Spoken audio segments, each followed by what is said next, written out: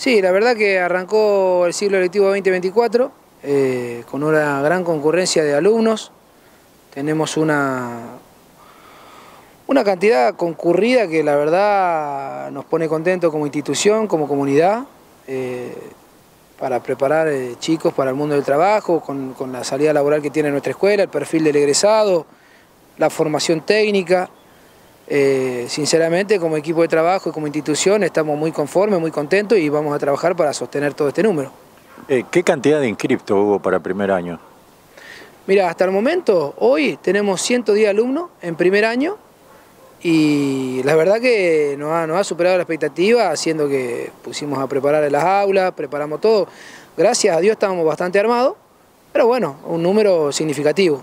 El año pasado se hizo mucho hincapié y se le dio mucha importancia a lo que es la educación en la región, trabajar mancomunadamente eh, y en unión con las demás escuelas de la región. Sí, seguimos trabajando de la misma manera con los demás directores de la región para más o menos sostener el mismo perfil, la misma política de trabajo, si se quiere.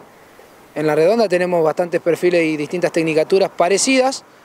a la nuestra y bueno, eh, tenemos vínculo permanente con el supervisor, con las distintas eh, directoras, directores de las escuelas técnicas de la región y, y eso hace que el trabajo sea eh, bueno y que sea hacia el mismo horizonte básicamente. ¿Esto se va a potenciar también durante el 2024? ¿Se van a buscar reuniones con los industriales, con las distintas fábricas de la región? Sí, la idea, o sea, se, el año pasado se, se, intentó y se está gestando eh, la reunión con los industriales locales, regionales, como para que tengan la, la sabiduría y el conocimiento de, de lo que pretende un, un, industrial, un sector privado, y tratar de formar, eh, o sea, si bien nosotros formamos eh, personas, también queremos formar buenos técnicos y bueno, que el empresario sepa la, la situación real del, del colegio técnico y de la formación técnica que nosotros podemos brindarle y que también ellos puedan también eh, acompañarlos en ese aprendizaje debido a la, a la gran cantidad de insumos, la gran cantidad de maquinaria específica que lleva una escuela técnica y de esa manera ponerlos en conocimiento de todo este movimiento. Eh, ¿Los cursos de oficios todavía hay vacantes? Bueno, los cursos de oficio,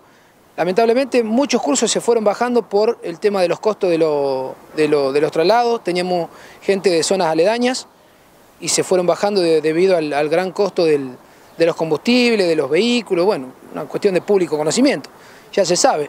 Así que estamos tratando de, de llenar esos cupos. Hicimos una breve apertura por las redes sociales, donde ya eh, está bastante colapsado nuevamente, gracias a Dios. Pero bueno, que se vengan a anotar porque por ahí se va a dar una baja, quedan anotados como suplentes, pero que se acerquen a la institución a partir de las 17 horas para lo que es formación profesional, para que Silvina los atienda y les exprese todo este, este, este, este eh, papelerío que tienen que completar y toda la documentación que tienen que traer para poder ser inscrito y registrado en, en el sistema como suplente o como alumno regular. Para lo que es el ciclo 2024, todavía aquellos que quieren eh, ingresar a lo que es el ciclo lectivo, ¿tienen la posibilidad o ya está cerrado? No, o sea, nosotros como institución pública eh, siempre tratamos de generar el espacio para que toda persona y todo alumno eh, tenga el espacio de la educación y, nos enorgullece que elijan el colegio técnico. Uno se formó eh, durante muchos años acá y bueno, sinceramente es un placer y un privilegio.